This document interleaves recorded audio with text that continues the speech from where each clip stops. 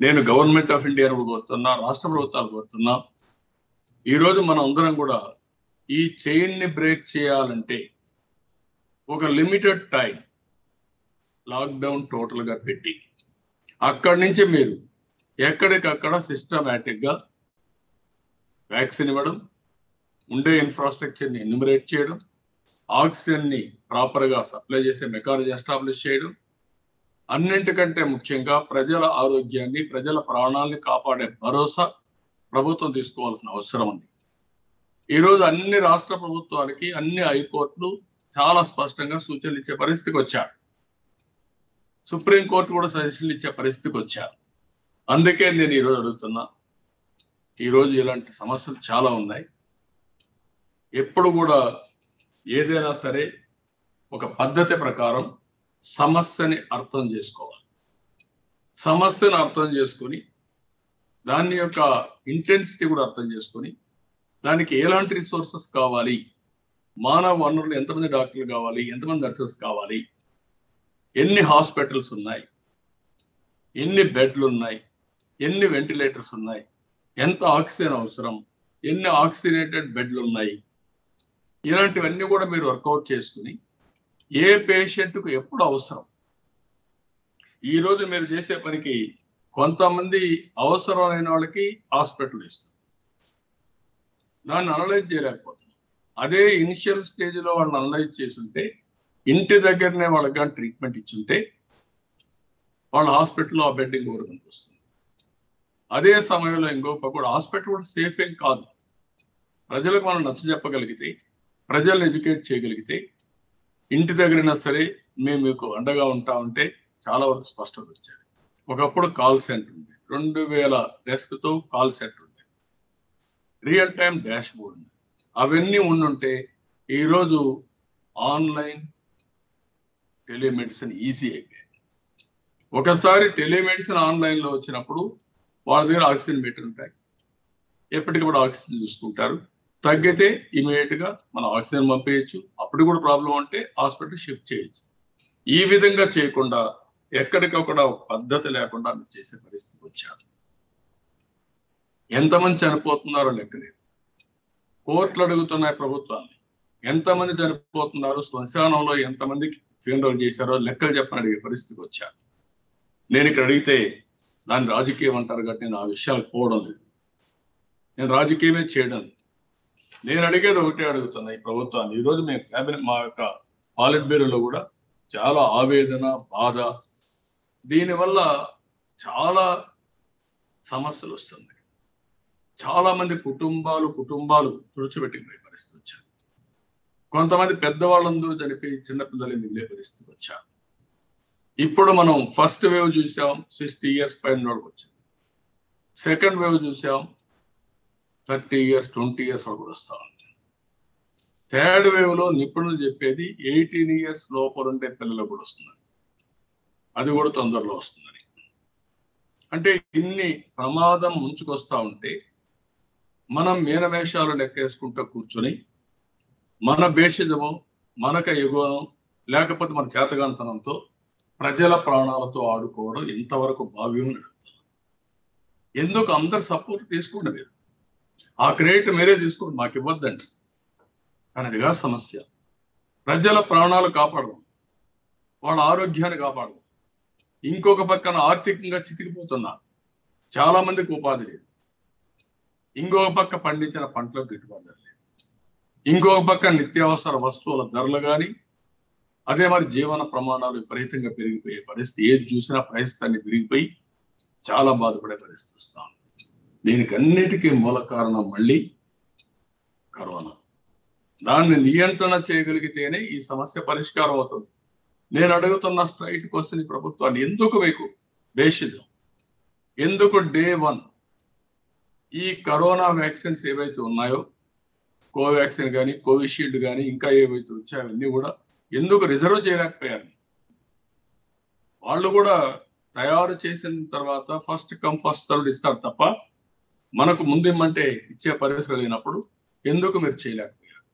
ఇవన్నీ మనం చేసే తప్పుల వల్ల ప్రజలు ప్రాణాలు పోగొట్టుకునే పరిస్థితిలో ఉన్నారు. కొన్ని కొన్ని వీడియోస్ చూస్తే చాలా బాధ వేస్తుంది ఆవేదన వస్తుంది. మనం ఇంత నిస్సహాయంలో ఏంటిని బాధ వేస్తుంది. కన్న తండ్రిని కడపటి చూపులు చూసుకోలేకుండా పోయిన వాళ్ళు కడాన నీళ్ళు పోస్తే ఏమవుతుందని భయపడిపోయే పరిస్థితి రావడం. కొంతమంది నాకు కరోనా వచ్చింది గోడ పైగా బిల్డింగ్ ఎక్కి దూకేయడం. ఇవన్నీ చూసినప్పుడు ఏ విధంగా నాకైతే ఏంట్రా ఇవన్నీ? మనం కూడా ఈ సమాజంలో భాగం. ఇవన్నీ జరగడం ఏంటి? అనే ఆవేదన బాధ ఉంది. నేను ఒకటే ప్రభుత్వాన్ని కోరుతున్నా. ఇప్పటికైనా బేషిజావద్దు నేనేదో కావాలని చెప్పి మిమ్మల్ని విమర్శించడం కోసం విమర్శించడం లేదు. మీకు అనుభవంతోనో లేకపోతే ఏదన్నా కానీ ఈరోజు మీరు కింది వాళ్ళకి అప్పచెప్పి వాళ్ళు చేసేస్తారనుకుంటున్నారు. కానీ అది జరగదు. ఎందుకంటే ఎవరైతే నాయకుడు ఉంటాడో నాయకుడి దగ్గర నుంచి క్షేత్రస్థాయిలో లాస్ట్ మైల్లో ఉండే ఫ్రంట్ లైన్ వారియర్ దగ్గర నుంచి ఎవరైతే కరోనా బాధితుల వరకు ఒకటే మెసేజ్ వెళ్ళాల్సిన అవసరం ఉంది.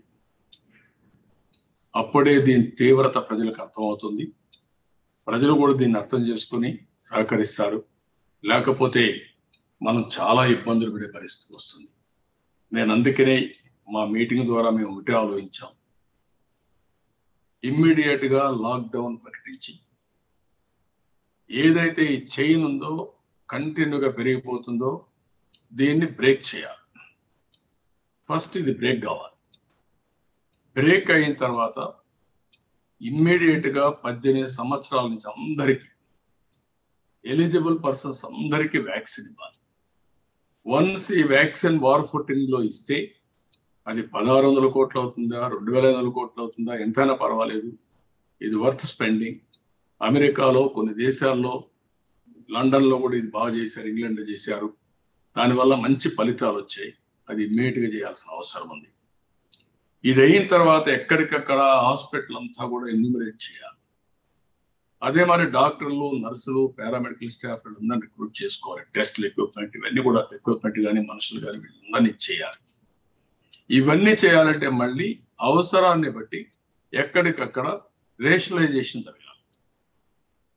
దాన్ని డిపార్ట్మెంట్ ముఖ్యమంత్రి అందరూ కూర్చొని కరెక్ట్గా చేసి దానిపైన వీళ్ళు ముందుకు పోవాల్సిన అవసరం ఉంది. ఇంకొక పక్కన ఎవరైతే చనిపోయారో వాళ్ళందరినీ మనం మీరు చెప్పిన ప్రకారం బీమా కానీ అంత్యక్రియల ఖర్చులకు ఇచ్చే పదహైదు వేల రూపాయలు కానీ వాళ్ళని గౌరవప్రదంగా ఈరోజు కట్టెలు కూడా దొరకకుండా పచ్చి కట్టెలతో కాల్చే పరిస్థితి వస్తున్నారు. రేట్లు కూడా విపరీతంగా పెంచేసే పరిస్థితికి వస్తున్నారు. చాలా సమస్యలు వస్తున్నాయి. చాలా మంది దీనివల్ల ఉపాధి లేదు. చాలా మంది ప్రైవేటు స్కూల్స్లో పనిచేసే టీచర్లు కావచ్చు భవన నిర్మాణ కార్మికులు కావచ్చు ఇంకో పక్క కూలి పని చేసుకునే పేదవాళ్ళు కావచ్చు వీళ్ళంతా కూడా ఇబ్బంది అవుతున్నారు. కొంతమంది కరోనా వచ్చి మెడిసిన్స్ డబ్బులు పెట్టుకోలేకపోతున్నారు. కొంతమంది మెడిసిన్స్ డబ్బులు పెట్టుకో పెట్టుకోలేకుండా పోవడమే కాకుండా కరోనా వచ్చిన బలహీన పడిపోయి తిండి కూడా లేకుండా బాధపడే పరిస్థితి వస్తుంది. అలాంటి వాళ్ళని టాప్ ప్రియారిటీలో పెట్టుకొని మనం ఆదుకోవాల్సిన అవసరం ఉంది. అదే మాదిరిగా జర్నలిస్టులు కూడా అన్ని రాష్ట్రాల్లో చేశారు కేంద్రం కూడా చెప్పింది. ఫ్రంట్ లైన్ వారియర్స్గా వాళ్ళు కూడా మనం డిక్లేర్ చేయాలి. వేరే మార్గం లేదు. ఈ విషయం మీరు గుర్తుపెట్టుకోవాల్సిన అవసరం ఉంది. ఇంకో పక్క వ్యవసాయ ఉత్పత్తులు ధరలు రావడం అదే సమయంలో నిత్యావసర వస్తువుల ధరలు నియంత్రణ చేయడం మద్యాన్ని కూడా నియంత్రణ చేయడం ఇవన్నీ చేసి రాష్ట్రాన్ని కాపాడే బాధ్యత ప్రభుత్వం తీసుకోవాల్సిన అవసరం ఉంది. లేకపోతే ప్రజలు ఇంకా హెవీ ప్రైస్ పే చేసే పరిస్థితి వస్తుంది. మళ్ళీ చెప్తున్నా బాధ ఆవేదనతో చెప్తున్నా తెలుగుదేశం పార్టీ ఎంతవరకు మేము చేయగలుగుతామో మాకుండే లిమిటెడ్ వనరుల్లో ఎస్ఓఎస్ టీడీపీ పెట్టుకున్నాం.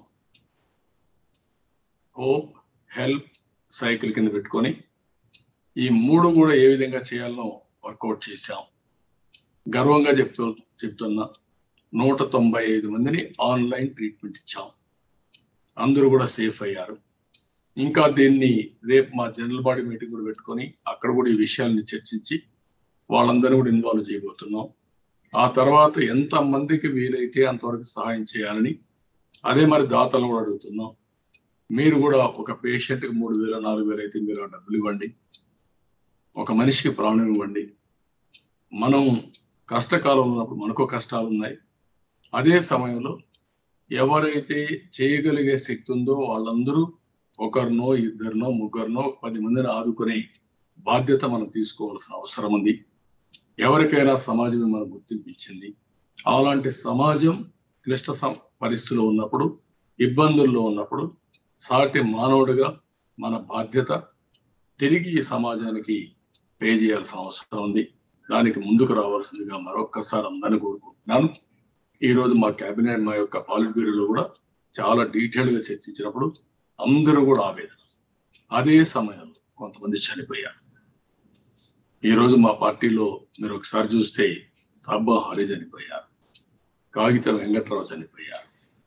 ఈ విధంగా చాలా మంది మా పార్టీ కుటుంబ సభ్యుల్ని పోగొట్టుకునే పరిస్థితికి వచ్చాం. ప్రజలు చనిపోయారు. అదే మరి కింద స్థాయిలో నాయకులు చనిపోయారు. చాలా మంది ప్రాణాలు అన్ని పార్టీల వాళ్ళు కూడా చనిపోయారు. వాళ్ళందరికీ ఎవరైతే చనిపోయారో వాళ్ళకు మా పార్టీ తరఫున కూడా ప్రగాఢ సానుభూతి తెలియజేస్తూ వాళ్ళ ఆత్మకు శాంతి కలగాలని భగవంతుని ప్రార్థిస్తూ వాళ్ళ కుటుంబ సభ్యులు కూడా నా ప్రగాఢ సానుభూతి తెలియజేస్తున్నాం. కొంతమందితో మాట్లాడగలుగుతున్నాం. కొంతమందితో మాట్లాడలేకపోతున్నాం. ఈరోజు మనందరి పరిస్థితి మన ప్రాణాలు మనం కాపాడుకుంటూ వేరే వాళ్ళ ప్రాణాలు కాపాడే పరిస్థితి వచ్చాం. ఇది చాలా బాధమైన పరిస్థితి. ఏదో ఒక తుఫాను ఒక లేకపోతే ఒక వరద వచ్చినప్పుడు అందరూ కూడా పోయి సహాయం చేసే పరిస్థితి వస్తుంది. ఇది ప్రతి ఒక్కరికి వచ్చిన ఇబ్బంది. బయట పోలేం ఫ్రీగా తిరగలేం. అదే సమయంలో మనం ఎక్కడున్నా మనకు కూడా వచ్చే పరిస్థితి వస్తూ ఉంది. ఇలాంటి క్లిష్ట సమయంలో ప్రభుత్వం అనేది ప్రభుత్వాలు అనేటివి చాలా బాధ్యత ఉంటుంది. బాధ్యతతో చేయాల్సిన అవసరం ఉంది. నేను కేంద్రాన్ని రాష్ట్ర ప్రభుత్వాలు కోరుతున్నా. మీరు కొన్ని పనులు చేస్తారు కొన్ని పనులు రాష్ట్ర ప్రభుత్వాలు చేస్తారని కాకుండా అవసరమైతే కేంద్రం రాష్ట్రాలు రెండు కలుపుకొని ఒక బాధ్యత తీసుకొని ఈ దేశంలో కరోనా నుంచి ఎట్లా బయటపడాలి? ప్రజల ప్రాణాలు ఎట్లా కాపాడాలి? ఇంకొక పక్కన ప్రజల ఆరోగ్యాన్ని ఏ విధంగా కాపాడాలి? మళ్ళీ గాడి తప్పిన ఈ యొక్క ఆర్థిక వ్యవస్థను ఘాట్లో ఎట్లా పెట్టాలి? ఉపాధి రైతులకు అందరికీ సమస్యలు ఉన్నాయి. అవన్నీ మళ్ళా మనం ఘాట్లో పెట్టాల్సిన అవసరం ఉంది. దీనికి అందరూ కూడా సహకరించాలని పాజిటివ్గా ఆలోచించాలని మరొకసారి కోరుకుంటూ ప్రజలందరికీ విజ్ఞప్తి చేస్తున్నాం. మీరు ఇమ్మీడియట్గా కరోనా లక్షణాలు ఎక్కడ కనపడినా ఇమ్మీడియట్గా మీరు స్పందించాలి. మీరు స్పందించి డే వన్ నుంచి మీరు కానీ మీకు నచ్చిన డాక్టర్ దగ్గర సంప్రదించి కరోనా పైన ట్రీట్మెంట్ తీసుకుంటే మీరు సేఫ్ అవుతారు హోమ్ క్వారంటైన్తో బాగుపడతారు బయటపడతారు. లేకుంటే నాలుగైదు రోజులు పోయిన తర్వాత ఒక్కొక్కసారి ఆల్ ఆఫ్ సడన్ కొలాప్స్ అయిపోతున్నారు. ఈ విషయం మీరు గుర్తుపెట్టుకోవాలి. బాగున్నట్టు ఉంటుంది ఈ రోజు మధ్యాహ్నం ఏంటంటే మా ట్రస్ట్ తరపున చల్లపల్లి ప్రిన్సిపల్ యాభై సంవత్సరాలు.